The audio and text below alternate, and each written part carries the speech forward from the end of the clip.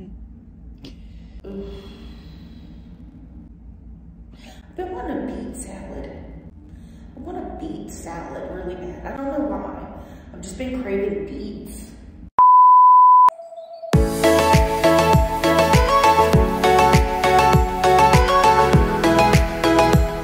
Hello everyone and welcome back to the I Hate Fat People show. And today for our little guest I have, that's right, a whale. Why a whale you might ask? Well, when we talk about fat people, there's a certain thing that comes to mind that um, it's kind of like a stereotype, you know, and most people would find it offensive. And that stereotype is, I just love whales lot. Like, they're cute, and so are fat people. They're cute and blue. And I love them too. But in all seriousness, uh, welcome back. My name is Scout. Today we're going to be looking at, uh, and today we're going to be looking at Hungry Fat Chick. Now, before we get started, a quick little background. I don't know a lot about this individual, but she has become kind of an icon on the internet. She has done collabs with Nikocado Avocado, she has made a name for herself, and she is slowly dying. Yes, you heard that right. She is she is slowly dying and it is her fault. But is it? Now, I am about to dive into this pretty deep and I just want to preface this by saying I don't know her personally. I don't know her life, but she does post about her life on the internet. So I am talking about whatever we get from her posts. And what we get, what we are getting lately is depressing. She is seems miserable. She seems like she hates her life. She's given up on herself. She's constantly going in and out of the hospital. She seems like she is on death's door and she will not stay with us for much longer. Which is very, very sad, and I am not going to make fun of that. That is a very hard thing. She seems to live alone. She doesn't seem to have a lot of friends or family to talk to, which I feel for her. I really do. But the question that I have is, is she manipulating us? Now, you might be wondering, what does that mean? Manipulating? She's just a sad old lady on the internet who overeats because she thinks that's the only way she can make ends meet. And to that I say, bah humbug, she knows what she's doing to an extent. Because on the one hand, she plays the victim, she gets the views, and on the other hand, it is very sad and depressing and she knows better and she can stop. And I want to figure out, is she really playing this act of a sad, lonely life, slowly dying, or is this real? Is this like really as bad as she's making it seem? Without getting too much further into it, let's hop right into the video. Hey y'all. No uh, long video going up today. I'm in the hospital.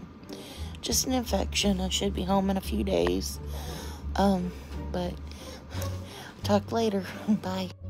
Now, as you can see from this first video, we get a glimpse into what her life has become. Because of her eating, she makes a lot of mukbangs, she gets a lot of views for that, that's um, her main source of income basically, so she heavily relies on her YouTube revenue. And that is stressful because YouTube is not an easy platform to gain a following on and make money from. So I applaud her for getting this far, but she is suffering, obviously. She is in the hospital because of her weight exacerbating her health. And it's clear that her mental health is has also gone down the drain along with her physical health. And YouTube, her dependence on YouTube is the problem because she thinks that she can get more views with the more, you know, horrible for you mukbangs. It's like Nikocado Avocado. It's like that situation. Everyone knows that situation. And if you don't, then you are two years old because everyone knows. It's just sad to me that she knows better. She knows this is killing her and she doesn't want to pull out all the way. And I have looked over a few of her latest videos and she does try to eat healthier when she's doing her mukbangs, which is a good thing. It is a good thing. Like doing anything about it is better than nothing, in my opinion. But is it enough? And to that, I would say I don't exactly know what her health is like right now, but based on what I've seen, I do not think it's enough for her to keep going. Can y'all tell I'm I'm not right right now? I'm just not. I mean, I don't know if it's it's the the struggle to not order food or the struggle to put my grocery order off one more day. You know, I'm getting like toilet paper and, you know, uh, Tums, because I need Tums. Don't matter what the heck I eat, I need Tums. I get heartburn.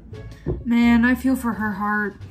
I really do. That's that's gotta be the strongest heart in the world. Like, you know, whales' hearts, I'm pretty sure a person, like a car could fit inside of, but her heart, I think a bus could fit inside of. Like, her whole inside is just her heart. So whenever she walks around, you can just see her pulsating, and it's really gross because maybe her stomach's inside her heart because her stomach, her stomach and her heart, that's all she's made out of. I'm sorry. but as you can see, she she always talks about like her struggles. This this video that I'm looking at is titled "The Struggle Is Real," and she it's kind of like a vlog where she just talks about her life to her followers, and it's very sad. It's very sad to hear that she's struggling mentally. She even says like, "Can you tell that I'm not all right?" But the thing is, she does this in plenty of her videos already. She acts like she's miserable, and I'm sure she is. I'm sure she is. I know she is suffering, but it's constant. It's constantly, oh, poor me. I, this life sucks. I need help. I don't know how to help myself. I'm trying to help myself, but I keep failing. Oh, poor me. And I'm not trying to invalidate that she is struggling. I can tell she is. But we are to the point now where she has to make a decision on whether or not she wants to save herself.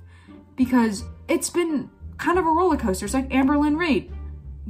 It's there just comes it just comes to a point where it's like, okay, man, you've gotta like either go for it or give up because I'm not gonna wait around for you to keep trying to decide and trying to help make us feel bad for you when you can't do it. Because you've been doing this for such a long time, you know how to fix it, you just won't. That is kind of where I am. So I have sympathy, I have empathy for her, but also get a grip on your life. You need to you need to change or you will die. Uh, I waste so much money, y'all. I waste so much money on dumb stuff that I could do myself. I don't know if it, it's just convenience, I guess. I'm always going for the easy route, you know.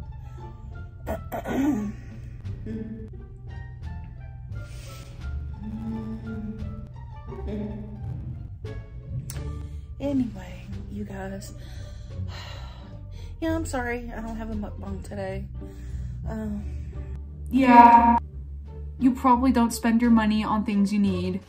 And that is very American of you, but I have, if you've ever seen Sam at Every Size, she talks about her struggles with binge eating and how she spent like literal thousands of dollars on food a month per year just spent like so much money on takeout, on food, that it was ridiculous.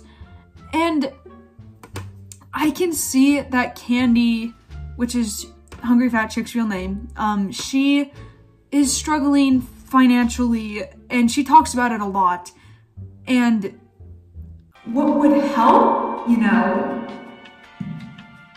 what would help is maybe saving the money that you're spending on takeout and, you know, saving it for something more important, like your living. My advice to you, Candy, you really just need to make that decision. You need to be decisive. You can't rely on YouTube because if you do, if you rely on YouTube and your mukbang videos, you will die. If you decide to keep them, keep doing them, and keep eating massive amounts of food. It doesn't matter if you're eating healthy food, if you still overeat it, you're still gonna gain weight. Sure, it's healthier, but it's not. If you overeat healthy food, it's just as bad as overeating unhealthy food. It might just kill you slower, but it, not by much. So, I I really do wish the best for her. She seems like a very nice lady. I think the way that she goes goes about running her channel is a bit manipulative because she wants to draw you in with the feel bad and oh poor thing. I need to tell her that you don't need to eat for views. We'll be here for you no matter what. and that gets her attention that gets her views that gets her comments that gets her money. So she knows it's working. And i hope that she uses the encouragement from her audience and takes it to heart because I don't want her to die. I want her to make the right decision, which is stop doing mukbangs, start a new life, and don't die. I know that all of that is easier said than done, but she can do it. She's at the point, she's at a crossroads now where if she doesn't make the right decision, she will die. So I hope that she makes that decision sooner rather than later.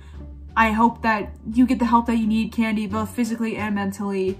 And I decided I wanted to do a shorter video today because I will be gone from Wednesday through Friday of this week. So I wanted to give you guys a little parting gift.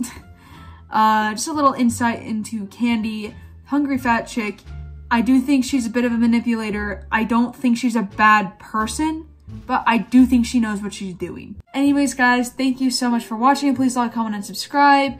Um, what do you think? Do you think that she's being manipulative or do you really think that everything that she says is authentic and she's done nothing wrong? So yeah, please drink some water, eat today, take your meds, do whatever you gotta do to be healthy, and peace.